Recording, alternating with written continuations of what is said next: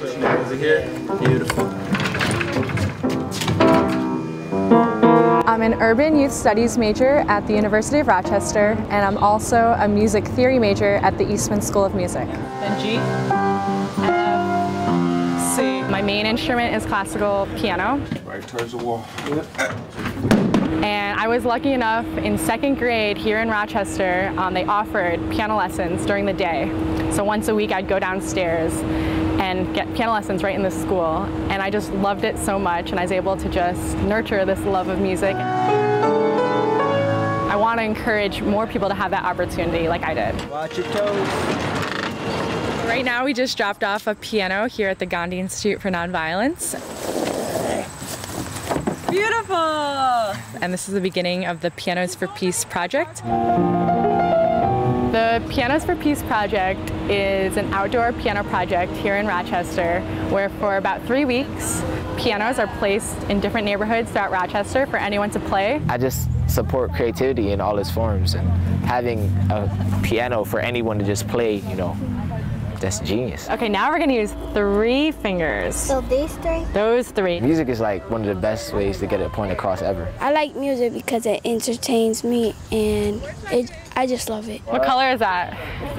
Orange. Orange. Yeah. I'm here helping the community and um, painting the piano and I hope it comes out really well. We need some more of that orange over here. Every piano is painted peace themed and that's open-ended, whatever it means to the the community who's painting the piano. Violence is definitely something we have to address. I live just three blocks, two blocks over. Um, hard area Hudson. They call it the Crescent in the newspapers. We've had over 25 homicides just this year. Less deaths, you know, less shootouts, less sirens. Less sirens is always a good sign because that's how you know you're doing something right. You know, people too busy playing the piano to get up to no good.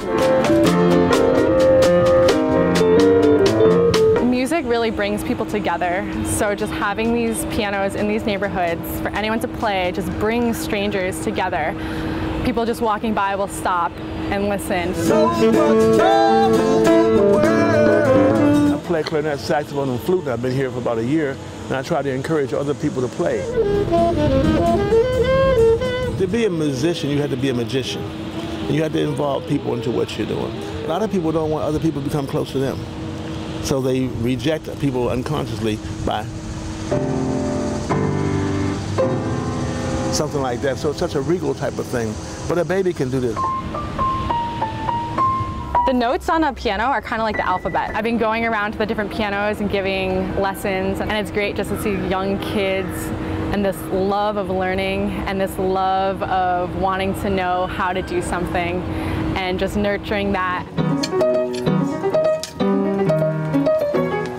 So after the three weeks that these pianos are out around the community, we're bringing them all to the Gandhi Institute for Nonviolence to create a piano park for peace.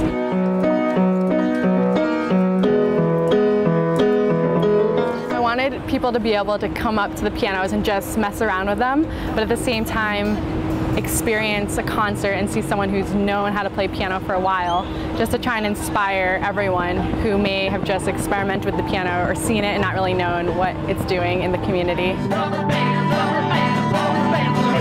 I'm really excited that the community has embraced this project and I'm excited to see how people are inspired for the future.